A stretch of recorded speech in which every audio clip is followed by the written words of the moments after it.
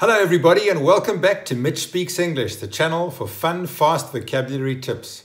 If you'd like to see some more videos just like this, then hit the like button, subscribe, and hit the bell for notifications. I'll let you know when I post any new videos.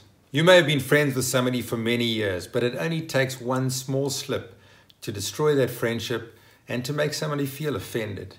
And oftentimes, it's just a little thing that we can actually fix with a small apology. Now that you've made the mess, it can be cleaned up with a very well chosen apology. And there are lots of different ways to say that I'm sorry, of course. Let's examine some words and phrases that'll get you out of the mess that you're in. And hopefully, you won't find yourself in too many of these jams. But we all make mistakes. Whether it's a broken window or maybe missing a Valentine's lunch or forgetting somebody's birthday. The one thing that I can tell you though when you do apologize, when you do say sorry, always make sure that it comes across sincerely. I'm sorry. Sorry means having regret for something that you've done. So if you back your car into somebody else's car and you hop out and you say with emphasis, I'm sorry, it's very different to bumping into somebody on the subway, giving them a curt nod and saying, sorry, and just moving on. There's no need to belabor that one. But sorry can be said with emphasis. And if you've done something that really deserves a very well thought out, proper apology with a lot of feeling, you could add, I'm so sincerely sorry, or I'm extremely sorry for what I've done. I apologize. When you offer an apology or an excuse for an insult or a failure or an injury, you would use I apologize. It's a much more formal way of saying I'm sorry. It's all my fault. You're drawing deep from the well of sincerity here.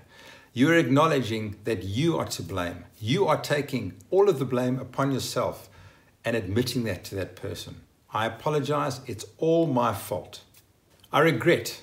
When you use the word I regret in an apology statement, it seems, what's the word? A little bit insincere. It's very, very formal. And this type of phrase was generally used in world wars when you would be sent a telegram if someone in your family had passed away. And the military would generally send a telegram starting with, I regret to inform you that John Smith was killed in action on the battlefield in France. Beg pardon. Beg pardon is also cited as a term of apology, but I think it can be used more as a term of indignation. So if somebody cuts you off in your line at the movies, you would say, I beg your pardon it seems much more of an indignant statement than an apology. Don't you agree? My bad. My bad is quite popular nowadays, and it's short and sharp. It's just a quick apology, and it's a way of you saying, It was me. Let's get over with. Get this done. Let's move on. It's done. Finished. My bad. Forgive me. You'd use this when you have really screwed up, when you've gone and done it. There's no denying it. You're in the dog box. There's no way out of the dog box. In fact, you've been kicked out of the dog box. You need to ask somebody for forgiveness, and you would say, Forgive me. A way that we all say sorry nowadays is by the use of emojis. And these emojis are simple ways of shooting a message across to somebody to say, I'm sorry. Let's look at a few ways that you can say, I'm sorry in a business setting. If somebody said something and you were going to interrupt them, you could say, I'm sorry to interrupt, and you could carry on with what you wanted to say. Or you could rephrase it like this. You could say to them, Great point, but what I'd like to suggest is, and you can go with that point. If you were sitting in a meeting with colleagues and they were discussing a strategy switch that you didn't quite agree with, you could say, I'm sorry, I don't understand the strategy switch. Or you could say to them, I appreciate your point in that, but I'm not quite getting what, you, what you're meaning here.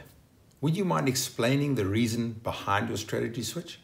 Sometimes you need to actually start a conversation with I'm sorry. So you could say, I'm sorry, but what I'm going to say might be quite offensive to you. Instead of using that phrase or that sentence, why don't you say, you know, what I'm going to be talking about may be controversial to you. Let's hear me out, and afterwards we can discuss it. Does that sound fair to you? We're going to be going through a whole lot of do not say phrases with different alternates to help you improve your vocabulary. If you're looking for more videos just like this, you can look at the two videos displayed here, which will show you more information on this topic.